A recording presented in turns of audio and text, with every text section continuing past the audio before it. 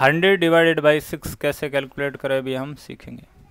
या इसको हम ऐसे लिख सकते हैं, हंड्रेड बाई सिक्स। किसका डिवाइड करना है? सिक्स का किसमें?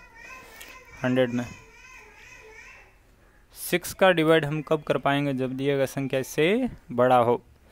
यदि एक अंक की संख्या तो एक अंक के साथ तुलना करो। क्या ये छः से बड़ा है? नहीं है तो अगला अंक शामिल कर लो। अब छः से बड़ा है क्या? यस अब छः का टेबल कितनी बार लें कि दस से बढ़ाना है? लगाओ दिमाग। एक संग संग बेस संग बार एक बार कितना आ गया? छः फिर हम माइनस करते हैं। दस में से छः गया, चार आ गया।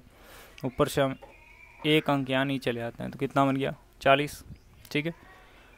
अब छः का टेबल हम छः बार लेते हैं। छः संग कितना होता? है छत्तीस। भाग गया छः बार। कितना? छत्तीस आ गया। माइनस किया, चार आ गया। तो इसको हम क्या लिख सकते हैं? कितनी बार डिवाइड हो रहा है? सोलह बार। सेंसफुल कितना आ रहा है? चार। किसका भाग दिया? छः का।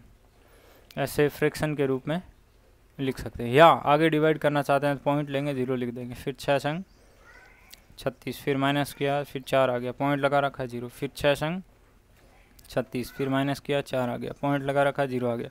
ये सिलसिला आपका आगे चलता रहेगा। Six six six six six या अप्रोक्सीमेट इसको क्या लिख सकते हैं? One six point six seven लिख सकते हैं क्योंकि आपका पॉइंट के बाद यदि रिपीटेड नंबर है, पाँच से बड़ा है तो आगे में प्लस वन करके लिखा जाता है। ओके आसान है।